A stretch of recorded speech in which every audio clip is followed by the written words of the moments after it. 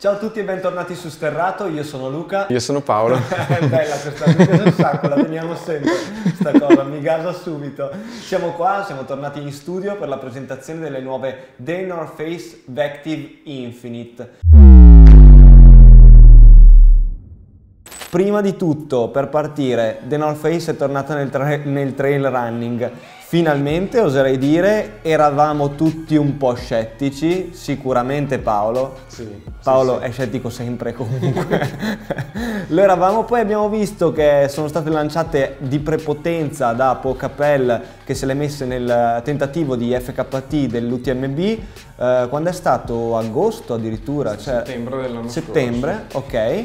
Eh, lui si è messo però le, Vective, le Flight Vective, perché la linea Vective è quella con cui entrano a gamba tesa nel mondo del trail gli amici di The North Face. Eh, linea Vective che si differenzia in eh, Flight Vective, che è la più reattiva delle eh, tre poi Vective Infinite e poi Vective Enduris. Le tre scarpe differiscono in realtà nella, nella composizione, soprattutto, vabbè, in realtà di tutti i materiali, perché a tutti i livelli ci sono delle differenze che portano la Flight Vective a essere la più reattiva e più leggera, eh, materiale della tomaia molto più eh, tipo simil calzino per capirci al volo e ehm, un, un, piatto in fibra di carbonio e intersuola più eh, sottile per dare tanta tanta reattività. Vective Infinite invece che come vedremo adesso nel dettaglio è una via di mezzo che va bene per davvero qualsiasi tipo di utilizzo nel mondo del trail e poi la Vective Enduris che io in realtà volevo anche provare anche quella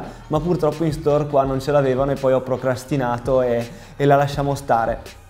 Ora uh, andiamo carichi con la presentazione di queste uh, Vective Infinite che vi, ultima premessa, secondo me è una scarpa spettacolare, ormai lo diciamo quasi di tutte. Sì, lo diciamo di tutte perché dai. Perché si gasano. Sì, ci gasano tutte quante le scarpe. Iniziamo come sempre partendo dalla traction. La trazione di questa uh, Vective Infinite non ha niente di esagerato.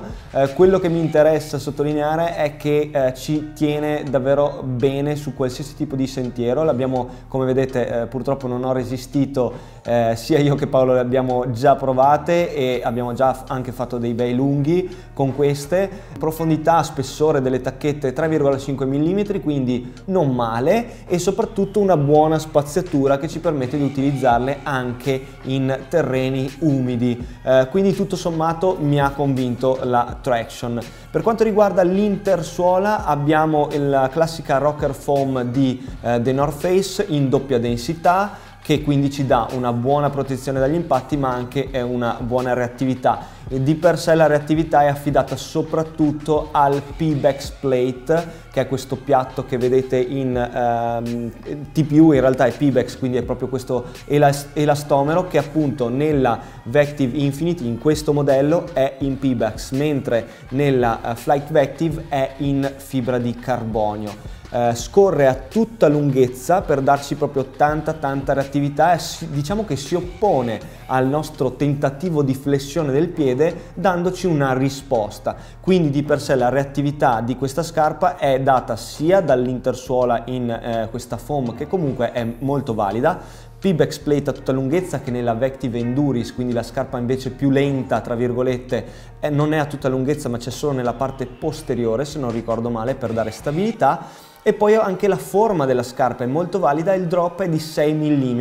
il che ci dà quel buon equilibrio e eh, quella posizione che comunque ti eh, tende a propellere verso l'anteriore. E la rende anche una scarpa un po' per tutti. Assolutamente sì, è una buona via di mezzo appunto per noi. Eh, adesso noi, io almeno sto usando scarpe da drop 8 a drop 4 ti dirò che con questa mi trovo davvero molto bene non, non, non trovo nessun tipo di, di problematica a riguardo.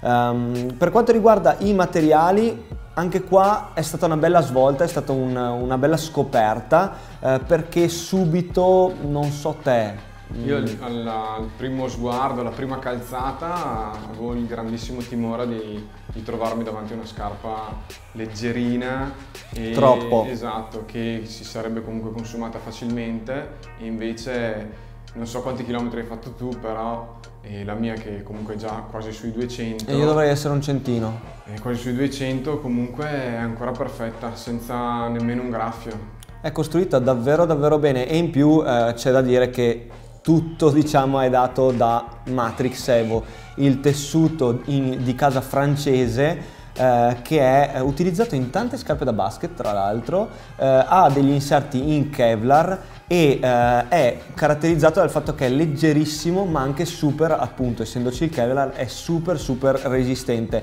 La prima sensazione che mi ha dato a me alla prima calzata era proprio quella che hai detto tu. A me piacciono più le scarpe ehm, imbottite anche a livello di tomaia ovunque, mi piace una scarpa eh, comoda anche a livello superiore, non solo di intersuola. E quindi questa mi aveva un po' lasciato così, ho detto ma forse magari dà fastidio, non mi, non mi dava una bella, bellissima sensazione a livello di asole dei lacci perché mi sembravano comunque molto delicate come, come asole e invece devo dire che anch'io un centino li ho messi su tutti senza, senza problemi e davvero la scarpa è perfetta, non ho nessun tipo di problema. Anche nella parte posteriore della tomaia c'è un'imbottitura leggerissima che però devo dire che è valida, si sente, eh, calza davvero davvero bene calzata tra l'altro secondo me assolutamente true to size quindi andate con la taglia che vestite regolarmente. Per quanto riguarda eh, sempre restando sui materiali un altro dettaglio importante di cui abbiamo parlato spesso io e Paolo i lacci. I lacci che anche questi la prima volta che, che li ho visti e avevo qualcosa da ridire perché sono veramente come sempre. Esatto, però sono veramente fini e sembra quasi che si spezzino al solo toccarli e, e, avevo paura si slegassero durante la corsa. Esatto. Invece esattamente il contrario. Anche perché hanno eh, delle zigrinature molto marcate che eh, fanno sì che si blocchino proprio con, contro le asole che sono molto leggere, sono molto sottili e quindi è come se entrassero dentro, eh, le asole entrassero dentro ai lacci quando noi tiriamo i lacci, no? Quindi è veramente valida la sensazione, tanto che addirittura la prima volta che lo utilizzate Uh, ho avuto il problema opposto, di solito le allaccio sempre tanto perché tanto so che si allargano, si allargano un po' mentre, mentre, corri. Invece queste rimangono belle, belle fisse. Sì, sì, fisse in una maniera assurda e quindi ho dovuto slacciare uh, la scarpa dopo, dopo, qualche chilometro. E addirittura se fai il doppio nodo rischi di non snodarle mai più. Infatti io non l'ho, non l'ho più fatto dopo la prima volta, assolutamente no, ma sembra, sembra assurdo, sembra una battuta ma non lo è affatto, i lacci sono veramente pazzeschi. Eh, e in più magari rispetto, giusto per richiamare in causa anche qualcos'altro, i lacci per esempio delle Hierro che mi piacciono molto anche quelli perché non si slacciano molto, eh, ma so- sono molto più rigidi, è un altro tipo di laccio, ma appunto la sensazione qua è anche eh, più piacevole per, per per il semplice fatto che non ti danno molta pressione, sono molto sottili. Ovviamente bisogna stare attenti, secondo me, a non farli impierlare, come si dice in italiano? a non farli girare, ecco, sì. e a lasciarli belli piatti sulla scarpa così, anche perché la linguetta non è molto imbottita, quindi quello bisogna sicuramente starci attenti. Eh, come considerazioni, ah beh scusatemi, in termini di supporto, anche quello va detto, eh, il supporto è molto valido eh, per il semplice fatto che la scarpa è costruita bene, non ha difetti particolari eh, molto, molto, marcati, ha, ha, una base d'appoggio eh, bella ampia, è molto stabile, ha un piatto appunto a tutta lunghezza in Pibex che dà eh, rigidità ma ovviamente non troppo e il collegamento tra la tomaia e l'intersuola è molto valido quindi no, sentiamo proprio una connessione eh, che ci dà una sensazione positiva di supporto a tutto tondo. Da non dimenticare anche i rinforzi che ci sono nella parte anteriore e anche eh, ovunque nel, nelle asole, li vediamo i supporti in, in materiale plastico che danno eh, sia della rigidità in più dove serve, ma più che altro ci proteggono dalla, eh, dall'usura eh, nel tempo. Come considerazioni finali su queste uh, The North Face Vective Infinite, per me sono assolutamente promosse. Anche per me.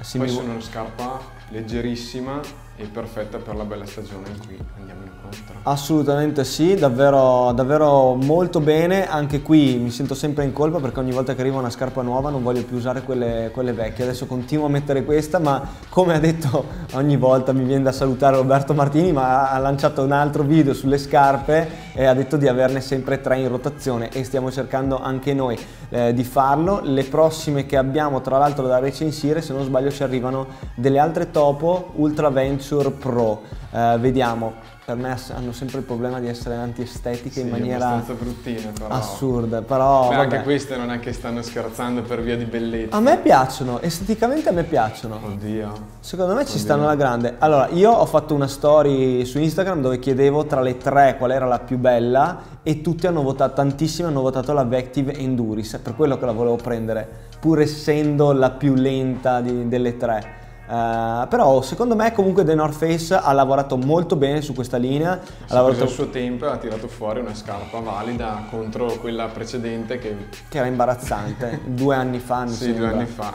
Uh, sì, ma era proprio un tentativo. Tra l'altro a questa scarpa, a questa linea ha lavorato anche un ragazzo italiano eh, non mi ricordo il nome, eh, scusate mi manca, però eh, mi ricordo che è anche venuto eh, in negozio a Verona a fare un, un minimo di spiegazione del design eh, di questa, di questa linea.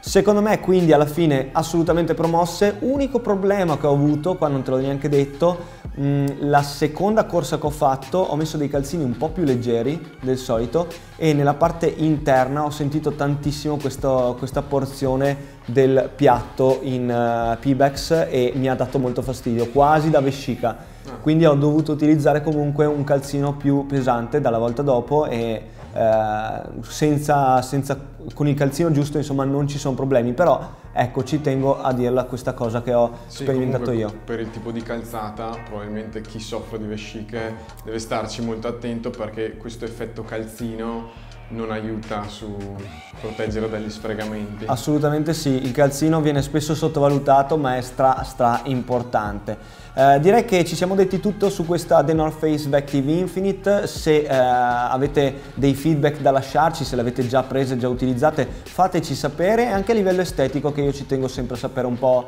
eh, cosa ne pensa eh, il, il pubblico del mondo del trail running. Uh, come sempre noi ci vediamo nel prossimo trail, grazie mille per il supporto e alla prossima.